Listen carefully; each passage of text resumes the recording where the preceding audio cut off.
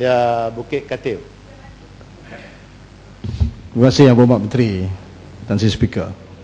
Saya ada bangkitkan di dalam uh, ucapan yang lalu berkaitan dengan uh, diplomasi budaya yang uh, sewajarnya dimanfaatkan oleh kementerian uh, sempena dengan tahun melawat Malaysia 2014. Jadi bukan sekadar produk pelancongan tetapi juga pemerkasaan dan penyebaran budaya. Kerana kekuatan negara ini adalah keragaman budaya.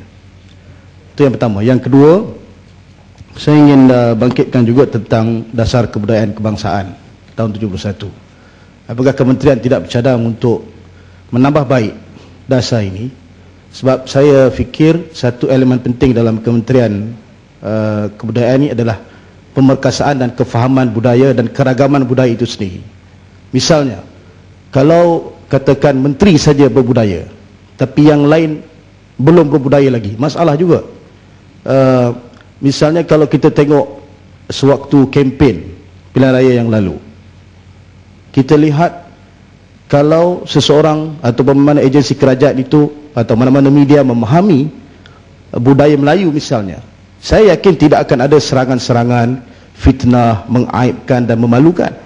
Kalau kefahaman budaya Melayu itu dihayati.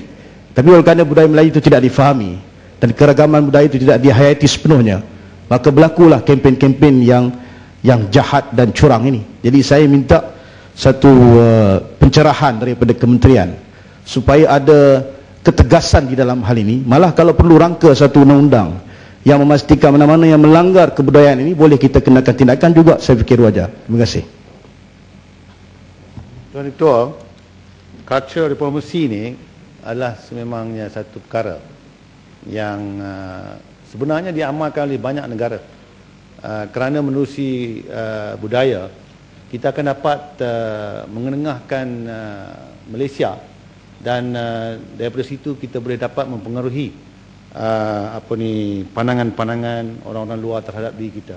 Jadi sememangnya culture diplomasi itu satu daripada uh, perkara yang uh, dititik beratkan oleh kementerian dan uh, saya akan uh, memberitahu kepada pegawai-pegawai saya tentang kalau yang buat sebut dasar kebudayaan tahun 71 Wih dah lama lah tu nah. 40 tahun lebih jadi saya kata kita bolehlah uh, lihat semula. Mungkin kita boleh uh, memulakan satu proses untuk uh, review dasar kebudayaan tahun 71